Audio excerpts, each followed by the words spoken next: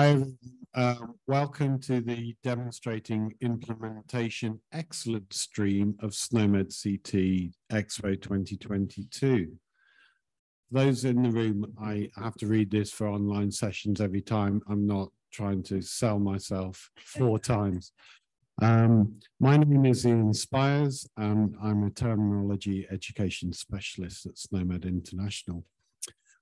All questions will be answered at the conclusion of the presentation. Online attendees, please use the Q&A box to type your question, and we have a microphone for those people in the audience. So I would like to introduce Pim, who's going to talk about patient-friendly terms in SNOMED CT, the Netherlands approach. Yes, thank you, Ian thank you all here bearing with me for the coming uh, 20 minutes or so. Um, oh, cannot jump too much in this one. Um, this is me. I, I, my name is Pim Volkert. Um, I'm from the Netherlands. and um, My background is health IT since 1997 almost. Um, but my hobbies, I like, I like to bike. And in the Netherlands, um, we have, uh, look at, and uh, we don't even have hills, as they, she would say it. like Denmark. Um, so in, in the summertime, this I took this. Uh, I didn't took, take the picture, but somebody else took the picture. This this uh, you know who, where, where this is? Who does not know where this is? It's it's Mont Ventoux in France. So um, we don't have mountains in the Netherlands. So if I want to do a mountain, just better do a proper one. So this is the Mont Ventoux. So I went up that hill and, and, and it went very well. But when I came back to the hotel, I felt a little it hurt it in my back and, and, and, and it didn't stop. So when I was home, I, I, I actually went to, uh, to, to, the doctor, to the GP, and then she asked a lot of questions. a lot of, lot of questions. And, and, and, uh, and then she filled in something, uh, lumbalgio, something very fast. I couldn't, I could hardly hear what she was saying. And, and uh, okay. And, and then what, what happened then? So, because she had a, a nice new EHR, uh, electronic health record for electronic medical records. And when I, when I got home, uh, I, I opened up my, my PHR uh, and could see lumbalgia. It's, it's a lower back pain, and it even explains what it is. Because usually if patients go to a doctor, uh, how much do they remember what's being said in that room? 20% max, and the rest, uh, all excitement, and they forget all about it. And at home, you can read quietly what, what, what's, what's his, what it is. So, um, so in my PHR, personal health, okay, I could see what, what I actually had and, and was so better informed. And yeah. And uh, the aim of my presentation today, the aim of the work we do is, is get patients well informed. A well-informed patient can make better decisions about the health. And we work very hard on this, and I work for Nictiz, health, uh, National Health uh, IT Competence Center. it's based in The This is our office. It's one of those offices somewhere out to the, like, we are like with over 100 people working. Um, majority is working on, on consultancy kind of things, advice to the government and others about developments of health IT. Uh, another part is working on, on standards, information standards or more generic standards, uh, like uh, healthcare information models, and terminology. So I work with my team. Uh, I'm, I'm, a team lead of the Terminology Center and the couple of them are in the back. So raise your hands, team uh, mates. yeah, you probably already know them, but um, I'm happy that they're all here. Uh, because we have a very good team. We work, uh, we are the National Release Center for SNOMED in the Netherlands. Uh, we work on the national lab code set um, based on LOINC and a bit SNOMED. We have many subsets to maintain, and we have a national terminology server running since a year or so. And we do a lot on training on promotions, but we also have patient-friendly terms. And today's topic is, of course, the patient-friendly terms as a sort of spin-off from SNOMED. this slide I, I borrowed from Herco. so um, what do we want in, in the Netherlands? So probably everyone in every country wants it like that, eh? the, the, right care at the right place and empower the patients, um, give them good information, but also empower the professionals. Both, both need good information to make better decisions. And sometimes the decision can be no treatment because of all the consequences of a treatment, but you need to be informed to know what the consequences are. How, so how can we uh, inform those patients? And Kate had a similar um, um, similar uh, slide. Uh, this, this is our national, um, can you read? Yeah, national core data set for interoperability. Uh, um, it looks like the IPS, International Patient Summary. Uh, probably a lot of countries have similar sets. We started before the International Patient Summary, so it's not exactly the same, but like 95%, which makes sense. I think everybody needs the same information. Yeah. And hopefully one day it will be 99.9% the same. Um, but these are all building blocks which are inside. Uh, and we have a sort of policy that, that uh, uh, these building blocks should be based, uh, sorry, on, on standards because we are creating an ecosystem surrounding the, the patient. Uh, we have the hospitals, the GPs, uh, and elderly care, they all have their information systems and they're all connected. Not that well, but they are connected and they're improving using those building blocks. Um, but they all have patient portals to inform their patients one to one. Each hospital has a patient portal. Um, but now we have also the personal health records. So this, this becomes the ecosystem for the patient. So the patient can be informed directly by the hospital, can be directly uh, be informed directly by the GP, or has his own personal health records. And what we say we, we're going to use in, in, in those building blocks, so also in, in, in the patient portal is, um, I named it the Mickey Mouse model. And I learned if you tell it once, people will never forget it. It's a Mickey Mouse model where we say uh, uh, SNOMED and LOINC and IDMP for pharmacy. That together brings, it gives you the, the, the reference terminology, it's the base of the vocabulary which can be used. And on top of that, you need the, the, the, the aggregation terminology, and we use ICD-10 for statistics, which is mapped to SNOMED. This is sort of, sort of base model.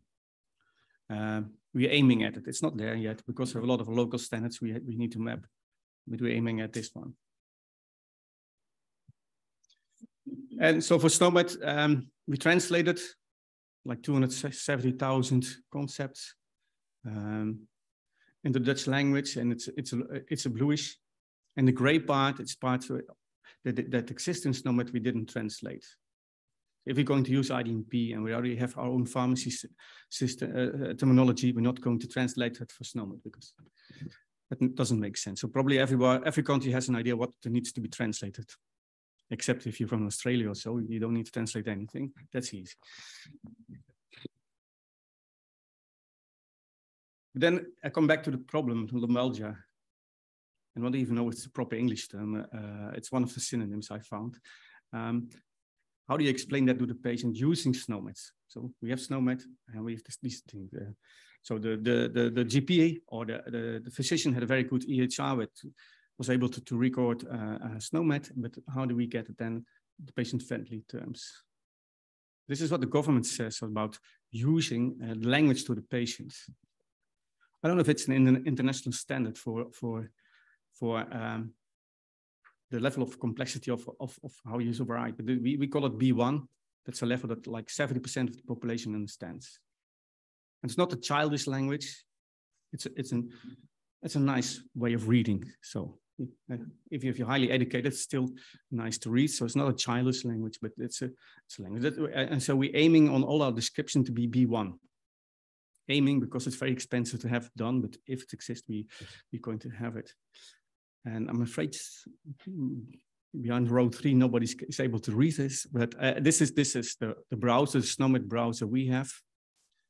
We have the international browser, SNOMED International, and we have our own browser because we added some things to it and it's easy to show. And um, I can show you here. So this, this is the, uh, uh, the Dutch medical term, the escalate, the blue one. Yeah, and below, below this, this is a green puppet that's the patient-friendly term, SPIT. And this is the explanation of what was, what it is exactly.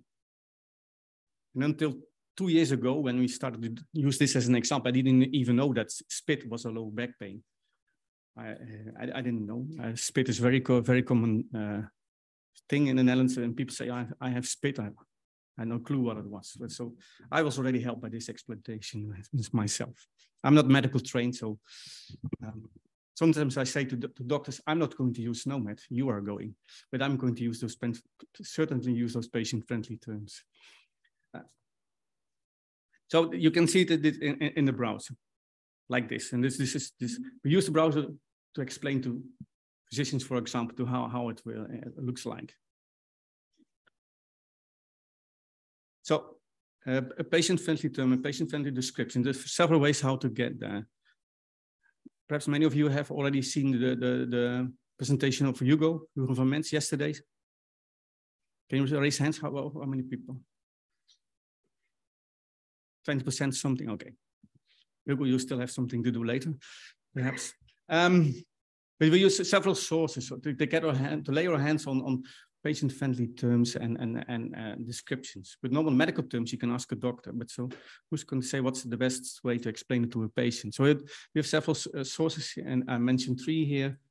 It's a Thesaurus Zorg en Welzijn. Uh, we started with, it, it's, it's a, the second one in the middle, is it's a, a nice website from uh, the, the Patient Federation uh, in the Netherlands. So the patient advocacy group, they have a website where all the problems diagnoses are there and also hospitals and GPs where you can go to and you can uh, rate GPs or hospitals or anything. But they have like, like 300 uh, problems or diagnoses there described. So I think it was 2014 we started with those in the first place. Probably we then had already had the bulk of the quantity of what, what could happen to people. So, uh, and since that worked out very well, we went continued our work with, with uh, en Welzijn actually.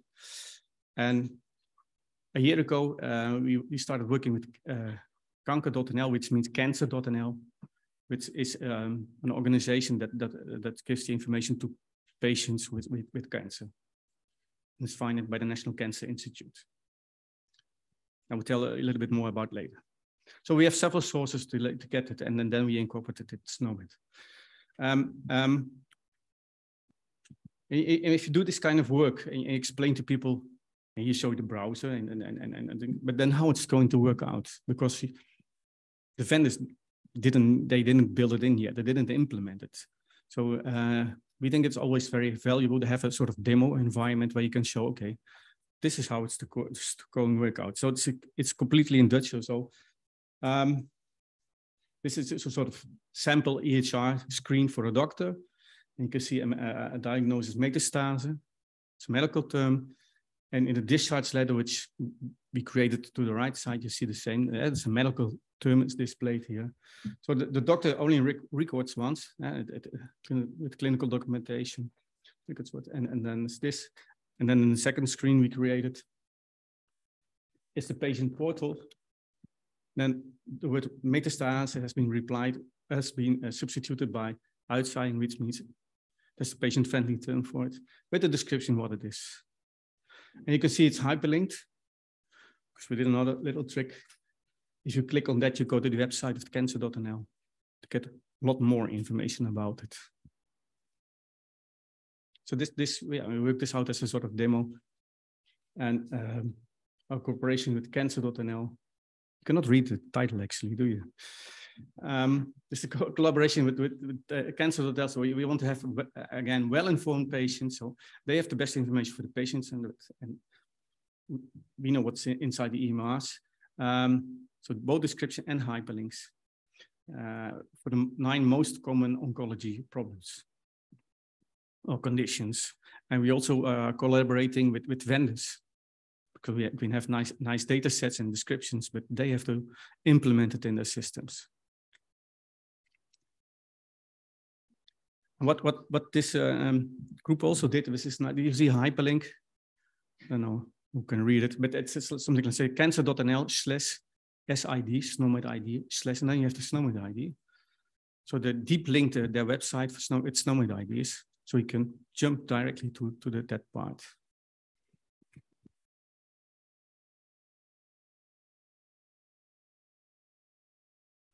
So we created also a, a, proof of concept with the hospital. It was the University Medical Center of Nijmegen.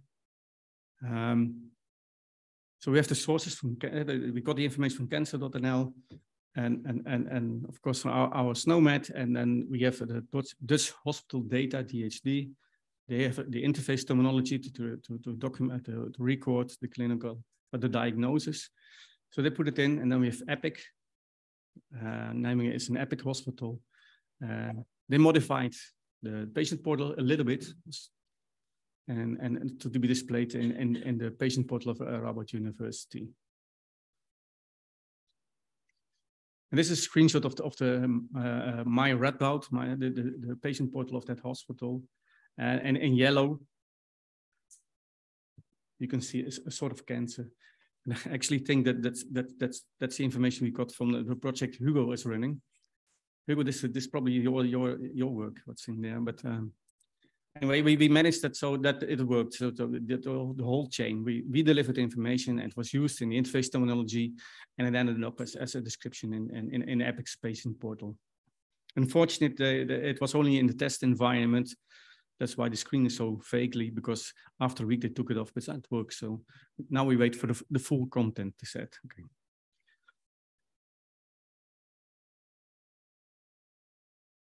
But we have a, a, a, a, challenge, a, but with Lumbalgia, they, they have 15 children. So if, if the people are recording one of those 15, well, how are you going to display it? Technically, you can say, yeah, this is the hierarchy, and the vendor can use the hierarchy and then display it. That's, that's what we learn, how SNOMED works. But in fact, uh, a, a, few or perhaps none of the, the vendors know how to do to use that properly. And, and, and, uh, the project uh, Hugo is working on is, is also, how can you work that out? And he did some amazing work, I think. Um, this is a problem for most of the vendors. So a, a, a new yeah, PHR vendor or even the, the, the, present EHR big vendors, they don't know how to, to work with the hierarchies in SNOMED. So we were thinking of thinking of working out um, one of the solutions, two solutions which are possible. And that's that's either you you copy the more general term down to all the children, say, well, they all they all the same. So we do it for the vendors, including descriptions. Or yeah, yes, I call it synthesis. I don't know uh, how it's actually called, uh, Hugo, but but this, you you create uh, descriptions based on, on other information. That, that's one. But the second step is all, always needed. That's verify. So you need a physician, GP, uh, who can verify indeed this is the correct way because you don't want to have wrong information displayed to the patient. It can be dangerous. Um, so you need a, a, verification step, and then we, of course, we can publish it in a normal way, like we're already doing it in SNOMED.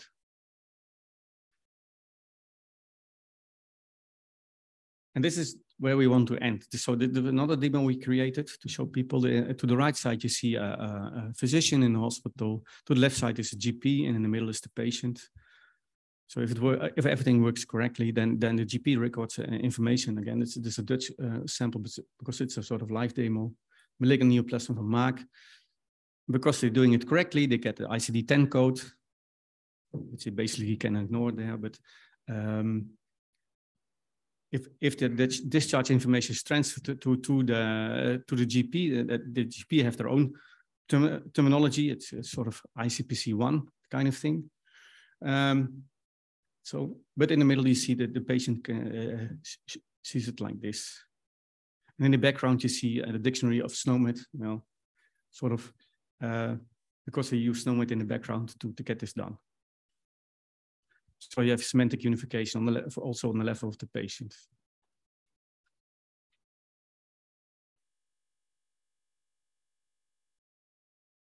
And this is, think, I think, yeah, we, we, we, we are now uh, able to inform the patient as, as best as possible. And, and we, I think, the community, we can facilitate that by using SNOMED. And I hope I, I inspired you a little bit that you can also think on your own country that how can we do that? Because I, I, think this is a unique position for SNOMED to do so. With that, I thank you very much. Happy to answer any questions.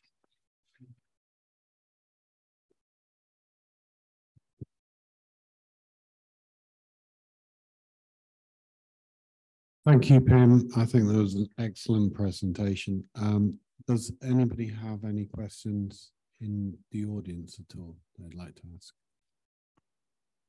Just notice as well, I don't have a step, so it's a big jump for me.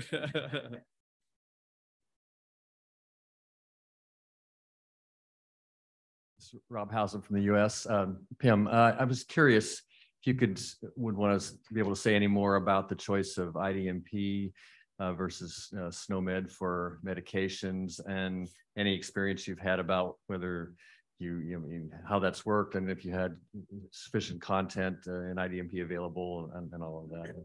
So, That's a very simple answer. No, I don't. Other people might have. It's it's it's a European uh, thing. Uh, it's a European project in implementing IDMP. And our national uh, standard uh, the G, uh, is working also with them and ISO to get it done. Okay, thanks. It's a choice that we didn't make and didn't need to make.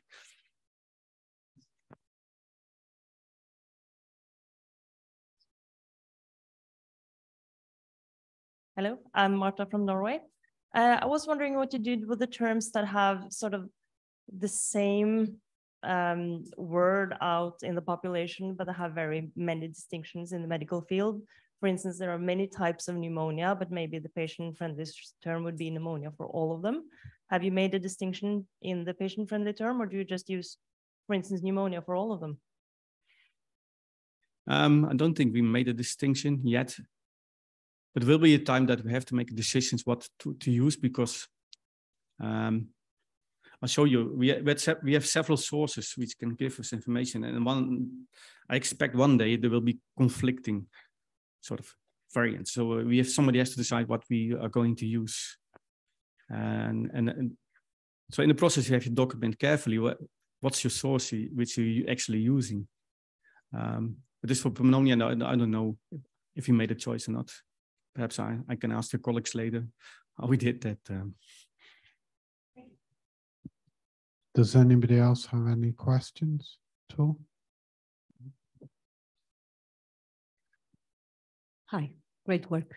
Um, I was wondering if the clinicians also verify what goes into the patient portal for that uh, patient-friendly term. Well, that's that's one of the steps, the verify steps. It's it's a clinician, not the clinician that requires. So that's that's uh, we hope that the clinician explains it the same. But yeah, you can imagine that that sometimes they explain it differently, but it's uh, it's better than it's happening now. And you know that uh, in Epic, the, the, there's a special field where a physician can type in the patient-friendly term. They will ne never do that. They are already happy that they, they got a medical term in. Uh, so they get the patient-friendly term and description for free without any extra work. I have one question. Have you tested with patients themselves that that much?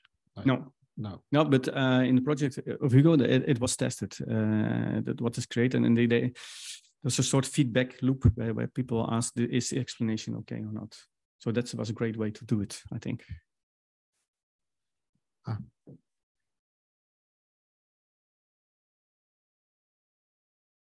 I'm getting my steps in today. Yeah. Um, my name is Ole Våge from also from Norwegian NRC. Um, what would you say has been the most important driving force for the hospitals to want patient-friendly terms? Uh, um, they, they don't suddenly arise. I mean, did this need or did it? I have to be honest. I, I, the hospitals didn't ask that much because they're not aware that, of the possibility that you can do it. They look for other ways how to inform patients. And we strongly advocate that uh, document once, reuse many times. And we often see that in the respect of exchanging information between professionals. This shows that uh, by good clinical documentation, you, can also inform the patients. So one part of, of our collaboration with cancer.nl is advocate uh, uh, to show what we are doing uh, so that, that the clinician doesn't have to do nothing extra. But at the same time, the patient is, is much more uh, better informed. Um, so it's a part of marketing we still have to do. Thank you, Pim. Mikko Härkönen, NRC Finland. Uh, I was thinking about the term itself, patient friendly. So um, if we are in hospital environment, that's okay. Everyone understand what is patient, but uh, what about uh, other other citizens or clients that are not patients? So uh, Yeah, I- some kind of information about how to choose this patient friendly. Yeah, yeah, yeah. You see me smiling because that was an uh, that's an ongoing discussion. Is it patient friendly? Is it a layman? Is it civilian? Is it the client? Is the customer? We decided patient friendly, and sometimes I'm giving this demo with cancer things, and it's not so patient friendly those cancers. Uh, so I have a mixed feeling sometimes myself. Uh, I rather have my, my my lower back pain as an example. By the way, I didn't have lower back pain, but uh, I climbed the Mont Ventoux.